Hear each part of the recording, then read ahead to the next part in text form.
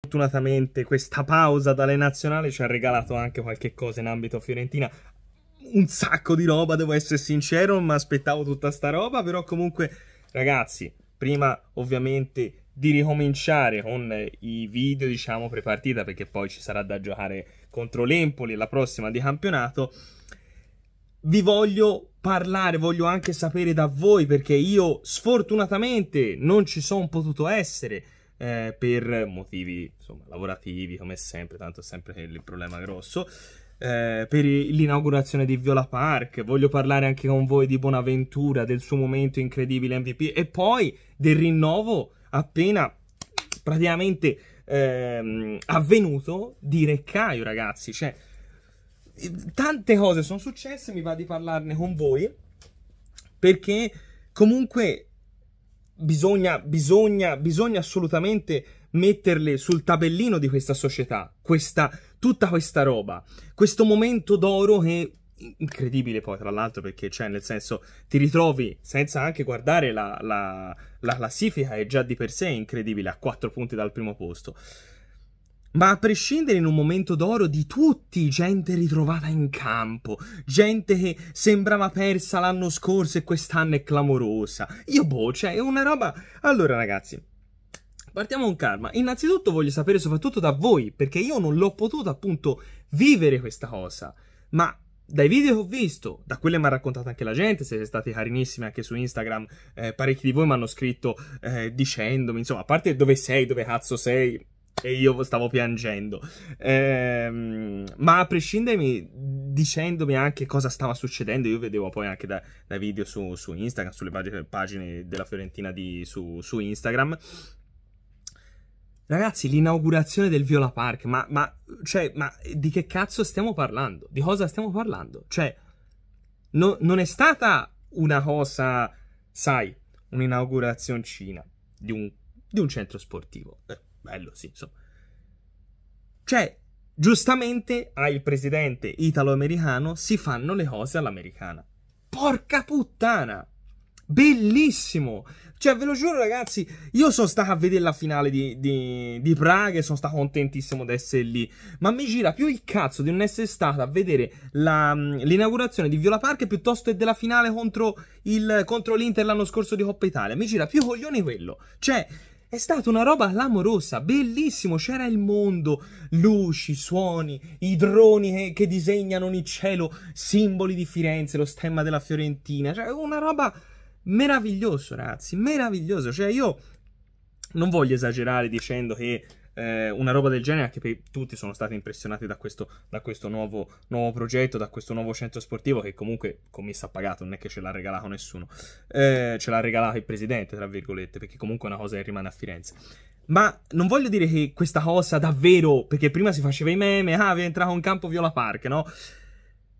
Però è un incentivo, cioè che voi lo vogliate o no, questo, questa cosa qui, questo centro sportivo che fa notizia adesso, è un incentivo.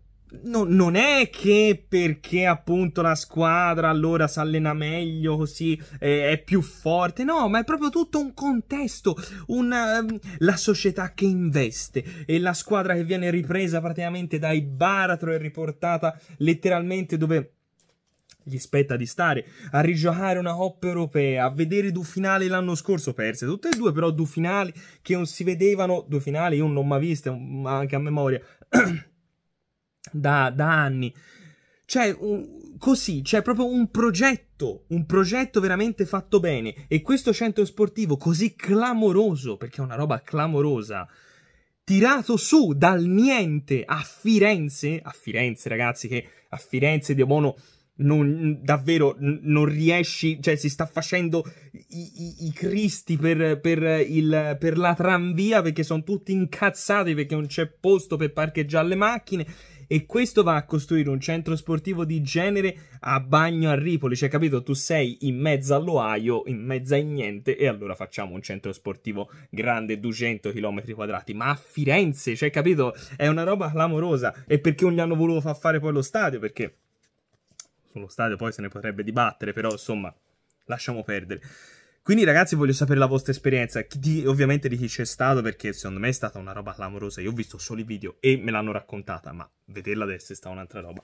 Poi parliamo un attimo di Bonaventura, ragazzi. Ma Bonaventura, cioè, io Mea culpa, eh? Mea culpa, sono il primo che alzo le mani. Sono stato il primo che quando, per esempio, mi hanno chiesto, mi ricordo quest'estate, si facevano live su Passione Fiorentina anche quest'estate, eh, la tua formazione ideale, che ti garberebbe vedere l'anno prossimo, prima che iniziassi il calciomercato, o comunque a calciomercato appena iniziato, così che, tra virgolette, uno, visto che non era ancora entrato nessuno, e avevi magari in mente quello che poteva essere la squadra dell'anno prossimo, per, o in questo caso di, di, di, di quest'anno, per, per provare a migliorare la situazione, uno diceva la sua 11 titolari.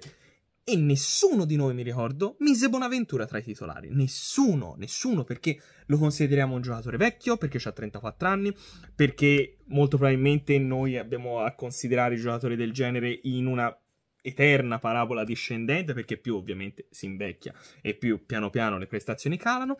Ma non è il caso di Bonaventura. Bonaventura, ragazzi, che dal l'Atalanta, dove si era messo in mostra più, più, di altre squadre, è passata al Milan per sei anni e poi è arrivata alla Fiorentina, dove si pesticciava i piedi con, con Ribery, fino agli ultimi due anni, che è stato una roba clamorosa.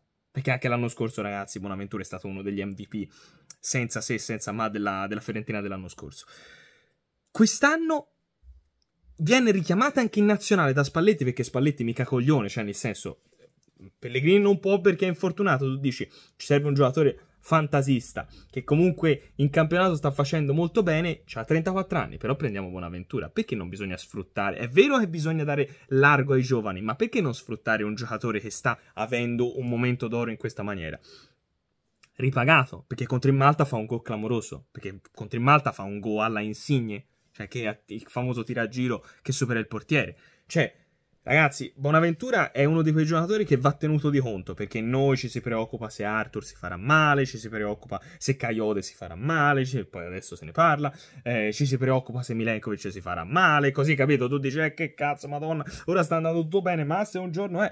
Ma Bonaventura, ragazzi, Bonaventura. Bonaventura. Per carità, ci sono le partite in cui genere, in realtà non gira proprio tutta la squadra, però o i momenti, diciamo più che le partite, i momenti in cui non gira proprio tutta la squadra e i momenti in cui non gira lui. Ma quando gira, ragazzi, Bonaventura è uno spettacolo per gli occhi. È uno spettacolo per gli occhi. Mea culpa, io non l'avevo inserito nella mia formazione tipo, ma ad oggi, se io gli dovessi dire il mio Lore- a Lorenzo di quattro mesi fa, gli direi, coglione, col cazzo, va bene Rovella, forte Rovella, ma guarda Bonaventura, perché tra quattro mesi l'MVP della Serie A praticamente, perché ad oggi, cioè, un centrocampista sta facendo meglio di Bonaventura non c'è in Serie A, non c'è, non c'è. Quindi, eh, Bonaventura ragazzi, veramente contento, contento, poi bellissima la dedica al padre quando gli hanno fatto eh, in conferenza stampa la domanda, lui comunque eh, molto emozionato anche perché il, il, padre sfortunatamente non, non, c'è più, non so se, lo, se, siete, eh, se l'avete vista, se non l'avete vista andatevela a recuperare perché è molto bella, molto, molto commovente. Ehm, però a prescindere è un giocatore che io sono veramente contento di averlo in squadra e spero che la Fiorentina, che si è già sentito che stava lavorando, comunque sta lavorando un po' sotto traccia, per il rinnovo, tra virgolette, a vita, perché ormai ha 34 anni, quindi il rinnovo a vita, con Bonaventura io sarei contentissimo, perché è un giocatore che a quest'età ti dà queste prestazioni in campo, sia dentro che fuori, io lo voglio avere in squadra fino a, fino a che campa, tra virgolette, calcisticamente parlando, ok? Quindi sono veramente contento di questa cosa e io spero che Bonaventura faccia un'annata di Cristo, perché un giocatore del genere, lui se lo merita in primis e anche noi ce lo meritiamo poi. Poi ragazzi, ultima cosa, ultima cosa, ma non la meno importante, la Fiorentina prende una posizione importante dopo Nico Gonzalez, che gli dà la 10, che lo rinnova, che gli alza lo stipendio e appunto Nico poi ripaga la società con le prestazioni che sta facendo fino adesso. Te per forza di cose ti sei trovato a campionato in corso a dover rinunciare al tuo titolarissimo terzino a destra perché, perché sì, perché Dodò gli si è disintegrato un ginocchio. Eh, quindi abbiamo avuto la fortuna di trovare questa riserva che nessuno si sarebbe mai aspettato. penso neanche gli addetti che l'hanno buttato lì dicendo lui di sicuro è pronto, ma nessuno si sarebbe mai aspettato un exploit così in positivo o questo impatto clamoroso in Serie A. Cioè, la partita contro il Napoli, ragazzi, è un emblema clamoroso. Cioè, la partita contro il Napoli, Caiode ha tenuto Caiode, ha tenuto Kvaraschelia tutta la partita, tutta la partita. C'è stato dei momenti in cui Kvara non riusciva a pigliare la palla, cioè Caiode ruba palla, gli ruba palla. Kvara cerca di riprenderla, Kvara Schelia, eh, non eh, appunto che cazzo ne so, Caglion dei nostri tempi, non dei tempi del Napoli, Gil Diaz, ok? Kvara Schelia, l'MVP dell'anno scorso. E lui addirittura c'è dei momenti in cui lo scherza e se ne va via. Un Kvaratskhelia che allarga le braccia e non, ries- non sai che fare. Cioè, c'ha 19 anni, è eh, questo. Vieni dal settore giovanile, c'ha 19 anni. La Fiorentina dal minimo salariale che era, perché giustamente un giocatore che arriva dalla primavera, lo rinnova fino al 2028. Penso che sia una cosa ufficiale perché mi sembra di aver visto comunque, di aver capito che è una cosa ufficiale. Meno male che ho aspettato un attimo perché la cifra sembrava essere a un milione l'anno e invece da quello che ho capito è circa 400.000 euro l'anno. Che comunque va bene. Si passa da 30.000 a 400.000, insomma, per un ragazzo di 19 anni. Capito? Cioè, già è una cifra folle. Ma a prescindere dalla cifra, cioè proprio la presa. La cosa che mi è piaciuta di più è stata proprio la presa di posizione della società. Perché è un giocatore che si è messo in mostra tantissimo in Serie A. Cioè, giustamente, mi ha solo la Fiorentina. Cioè, altre squadre hanno detto: Oh, cazzo, ma questo è forte vero. Prima che lo rinnovino, cazzo, ma proviamoci. O comunque, questo bisogna cominciare a pigliarlo. La Fiorentina, invece, da subito lo rinnova. Ah, approfitta di questa pausa delle nazionali, lo rinnova fino al 2028, gli dà delle garanzie e lo mette titolare, perché giustamente per tutto l'anno lo dobbiamo avere titolare perché Dodò non c'è. Ma chi si sarebbe mai aspettato un exploit in questa maniera in positivo di un giocatore del genere? Cioè, da parte di Parisi me lo sarei potuto aspettare e infatti è stato.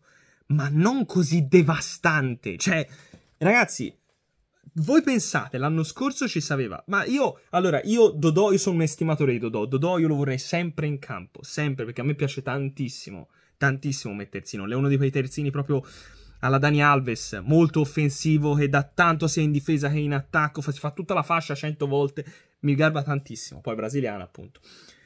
Però pensate, l'anno scorso te avevi Dodò e Biraghi, che hanno fatto benissimo, eh, hanno fatto benissimo l'anno scorso, tutte e due.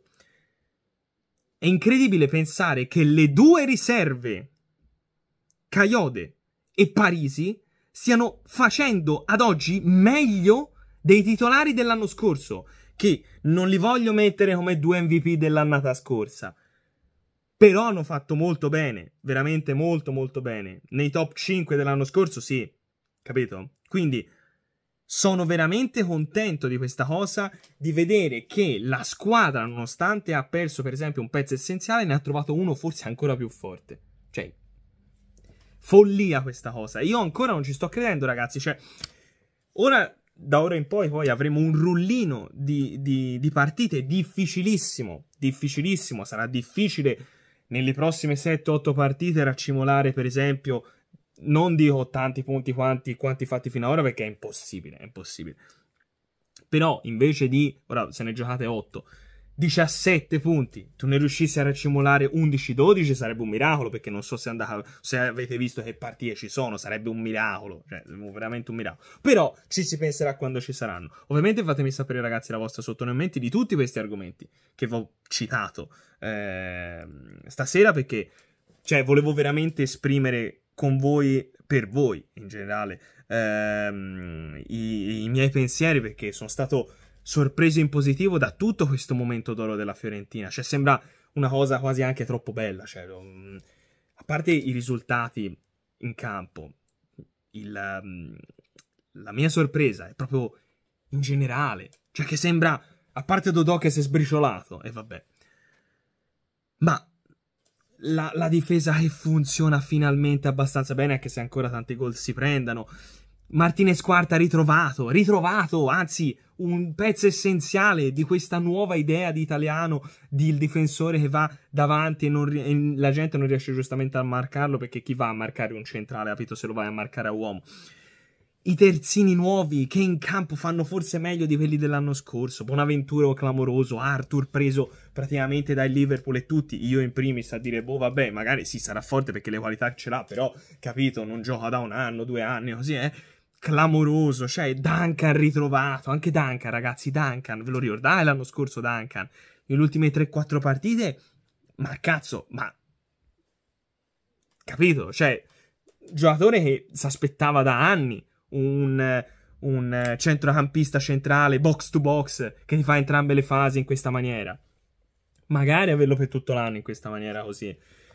Nico Gonzalez che è partito come una bomba, una legnata, cioè ormai si continua così, Devono fa 25 gol a fine dell'anno, non ci credo nemmeno se lo vedo, però cioè, sta mantenendo una media senza senso. C'è da trovare i gol, gli attaccanti devono ritrovare il gol, ma a parte quello, ragazzi, c'è veramente tutto di positivo. C'è qualche piccola stonata, ma oh, nel senso, fino ad ora non ci si può veramente lamentare di niente, ma di niente, ma proprio di nulla. Quindi ragazzi, sempre Forza Viola, fatemi sapere il vostro pensiero, come sempre Instagram e il mio secondo canale in descrizione. Ci vediamo per il prepartita poi della partita Ollempoli. E ciuffo e Hasca. Ciao ragazzi.